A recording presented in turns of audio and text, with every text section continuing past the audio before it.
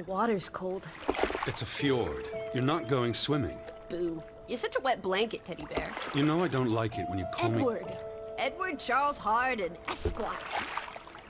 Will you promise to behave on land? Don't I always? Lissy, promise. Oh, piffle and phonus balonus, Teddy. You ought to know better than to ask. Yes, I'll behave. I'll be a proper young lady. I shan't run or climb things or laugh too loud or call anyone old bean. Aside from you.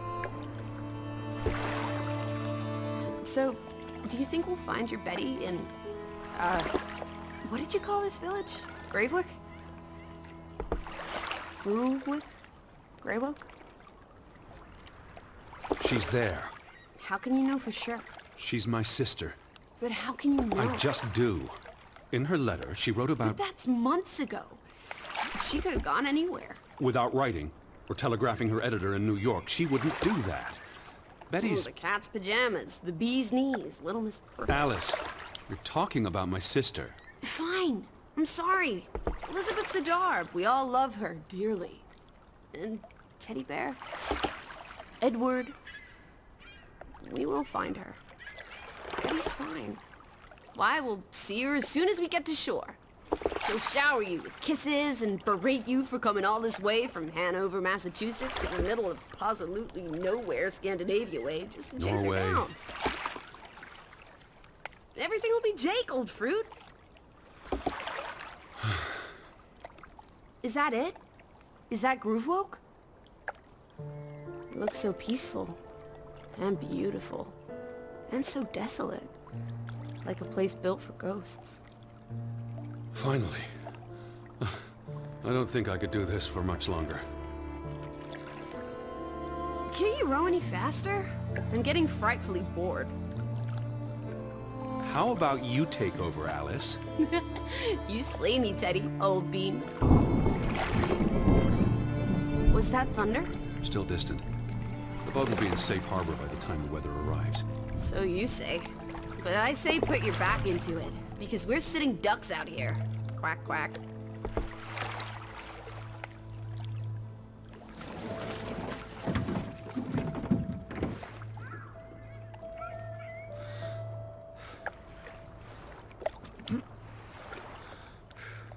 It's so quiet.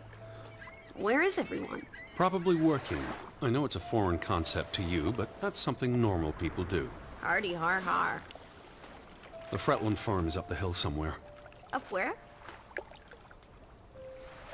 I believe it's that farmhouse, all the way at the top. Hot dog! Let's ankle! Hold on. Let me read the letter from Mrs. Fretland first. I'll meet and- you up there, old sport. I want to explore. Last one's a skunk's tail. Ready? Be careful. The ground's muddy. You could slip and fall. See you in two shakes.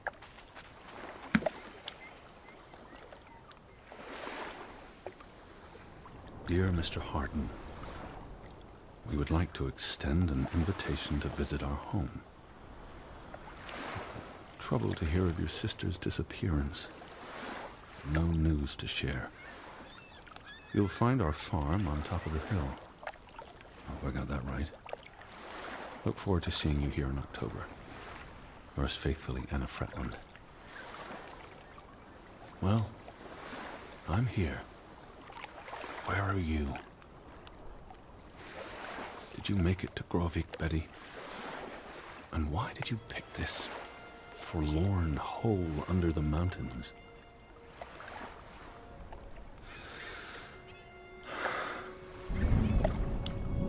Also sprach Zarathustra.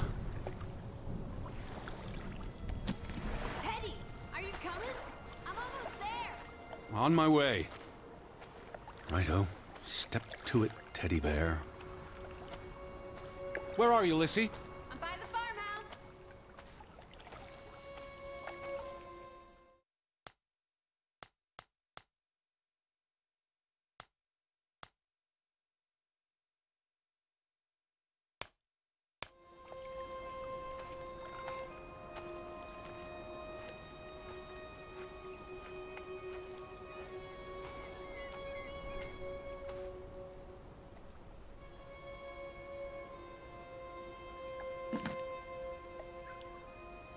Coming?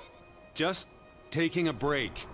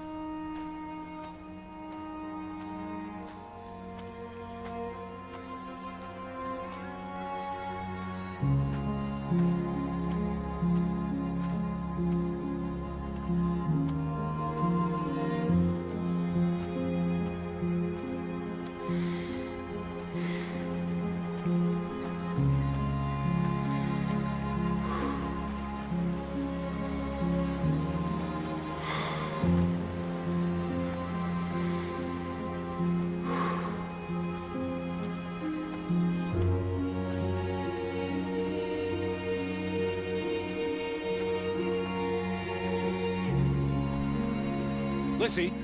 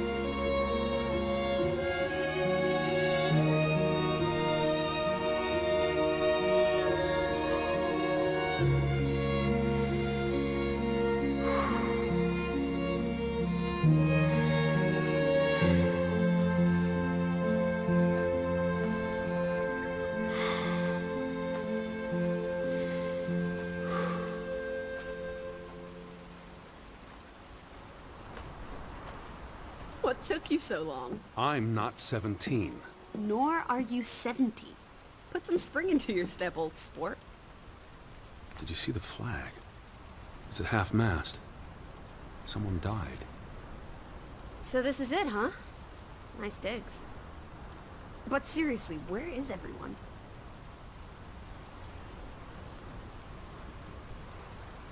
This is starting to creep me out.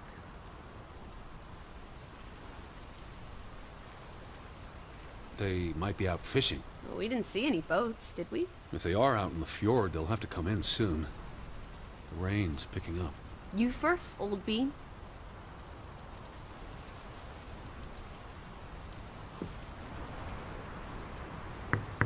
Hello? Anyone there?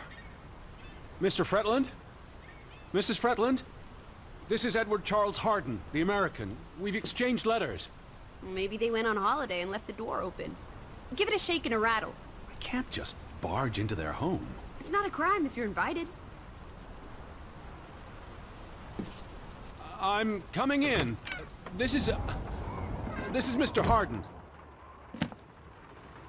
Hello? Is anyone home? This house is as empty as a bird. Uh, Hello? Hello? Told you. Empty is an empty nest. Um, this house is as empty as a bird's nest in December. Hey, you want to check out the upstairs? I'm a guest. Why would I start poking around every corner of the house? I don't know. Maybe they're playing hide and go seek. Well, I didn't want to go upstairs anyway. It's creepy.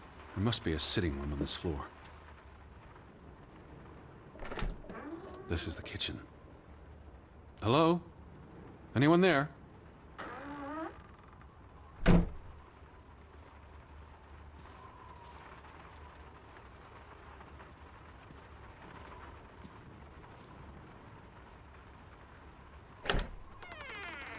Oh, this is nice. Charmingly rustic. The Boston Beaumont would pay a pretty penny for this setup. I thought foreigners lived differently. This is almost like an American home. People are people wherever you go. Thanks, Proust.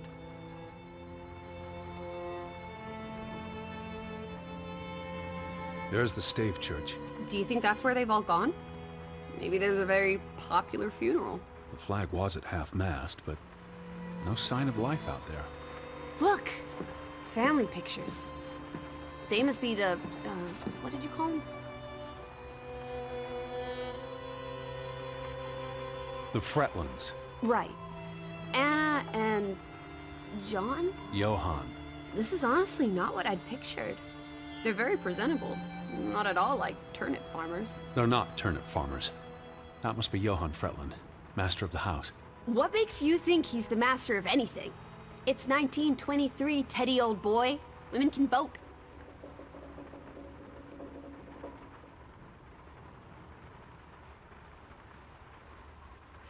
Old Johann's a bit wooden, isn't he?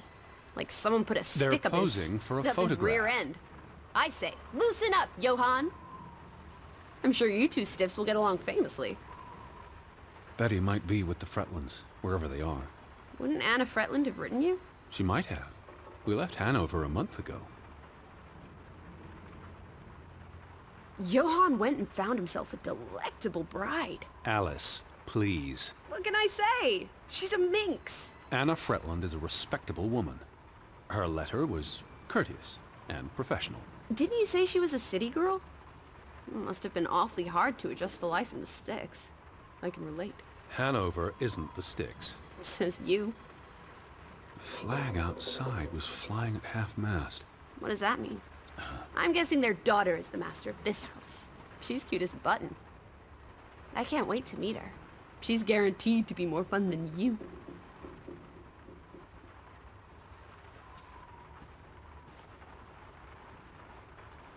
Wait, is that... Are they... I- Who's... They're all twins. All of them. That's Johann and Anna Fretland. There are two of each, Edward. Two of each. Frederick and Margaret. Twins marrying twins. My mind's reeling. This is just too adorable. May 26th, 1899. We'll be celebrating their silver anniversary next year.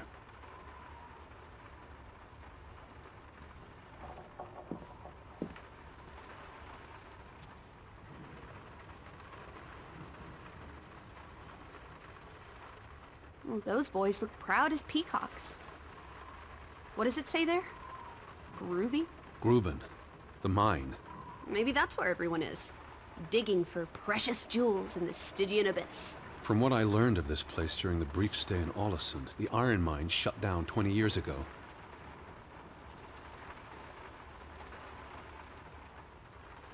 Frederick and Johann Fretland, founders of the Fretland Brothers Mining Company.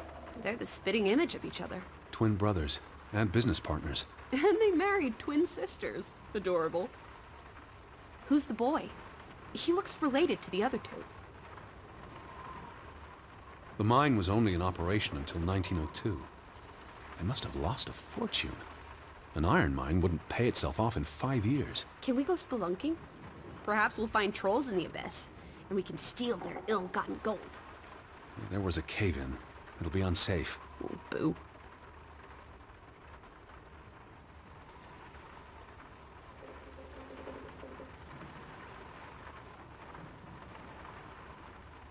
Johann Fretland exits Fretland Brothers Mining Company. So the brothers parted ways? Johann sold his share to focus on farming. Well, that must have put a damper on their relationship. Tragic accident befalls the Fretland Brothers Mining Company. What happened? The mine collapsed, killing three workers, including Arne Fretland, Frederick and Johann's younger brother. That's awful. How old was he? Uh, 19. He might be the boy in the photograph. Operations were suspended after the accident. Foreign investors out of Frederick Fretland's mining company. Dire financial consequences for Fretland, who must have had a difficult time after his brother Johann Fretland pulled out earlier this year. Johann was smart to exit when he did. The timing is curious, like he knew something was about to go awry.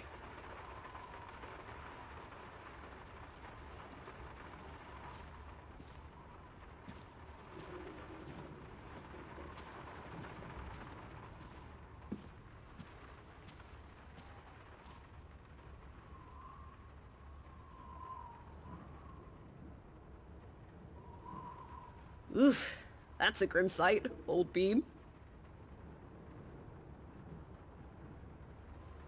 I'm exhausted. And soaked to the bone. Let's get you to bed. We'll wait for the Fretlands. It's only courteous.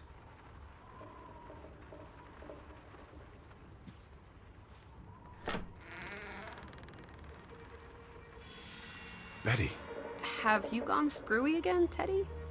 That's not Betty. That's... scarf. I'd know it anywhere. It doesn't look like anything to me. It She just bought it in like... Bloomingdale's the Christmas before last. When she came home that year, she showed it off, dancing around the sitting room until I got dizzy watching her. I think you're misremembering. She couldn't make it home that year. Again. No, I'm... You're wrong. I'm sure she was there.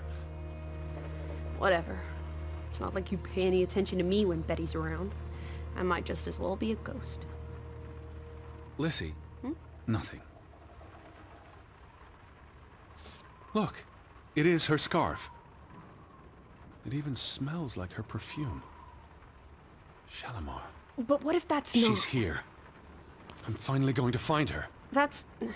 That's great, Edward, really. I... I wouldn't want you to get your hopes up. I mean, where's everyone gone to? Something's not right, I'm telling you. Teddy? Edward, what's wrong? I... lightheaded, that's all. You're having another spell. You know what happens when you exert yourself.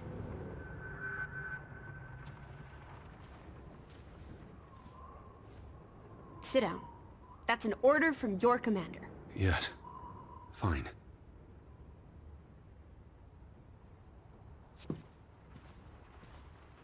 What are you doing? I just need to... catch my breath. Just for a moment. I want you to lie down. Lie down and close your eyes. It's been a strenuous day. What with the rowing and the dragging of the suitcase up the hill. Well, what if the fret... I'll keep an eye out. I promise. If they come home, I'll wake you. Now, lie down, close your eyes, breathe deeply. I'm just... going to...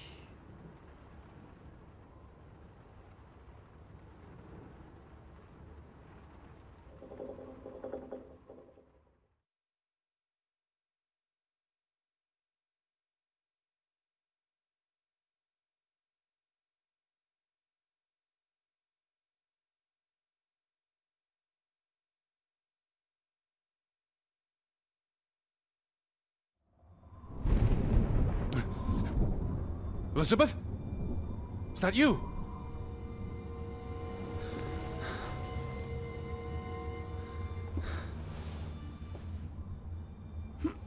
Betty? Lissy? Lissy, are you here? Lissy? Alice? Hello? Hey, who's there? Betty? Elizabeth? Wait!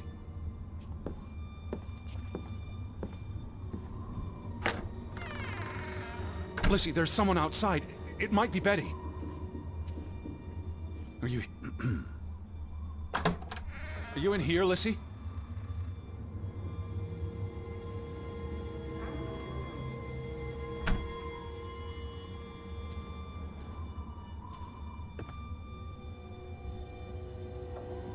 Lissy!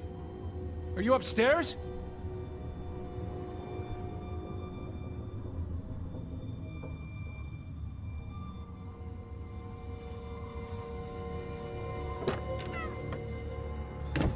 Out there?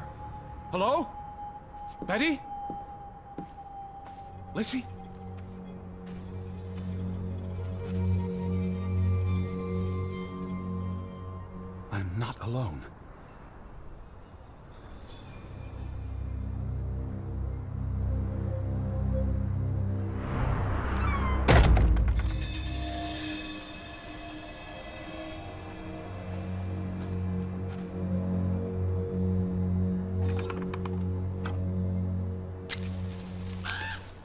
I can hear you!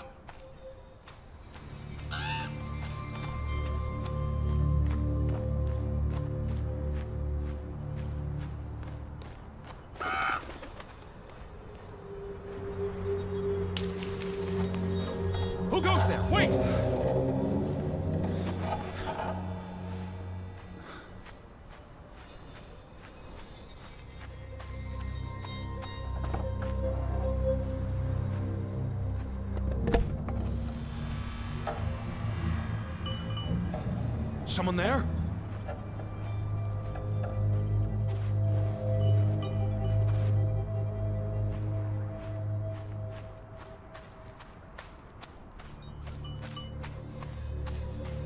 Hello?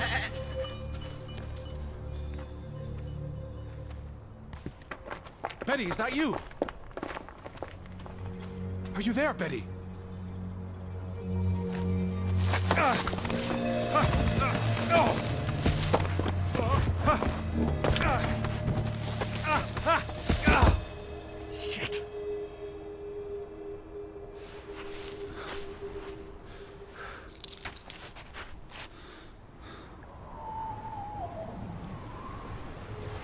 Elizabeth, are you there?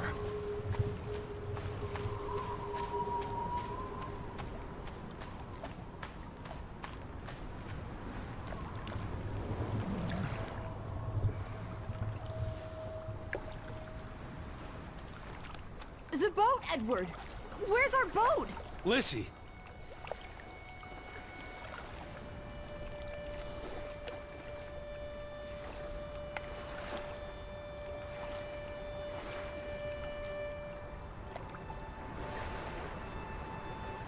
Did you go? Why did you leave me? It stopped raining and you were sleeping, and... Our boat, it's gone. The boat... What? How? Maybe you didn't secure it properly. I pulled it up. I, I don't know. I thought I tied it securely, but... Did you see Betty? Did I see... What are you talking about? I, I think... Betty... It was Betty. I... It was her. It must have been her. I saw her face in the window, and... When she vanished into the dark, towards the sea. You really didn't see anyone. I haven't seen a single soul. Are you sure it was her and Yes. not... I... I mean... I saw her face, and... It looked like her. Well, if it was her, why did she run away? I don't... I don't know. it's getting dark. Back to the house. And tomorrow... Tomorrow's another day, Teddy Bear. We'll figure it out. Right now, let's get you cleaned up. Look at you. You've got mud all over yourself. And then you really need to sleep. You must be exhausted. Come on.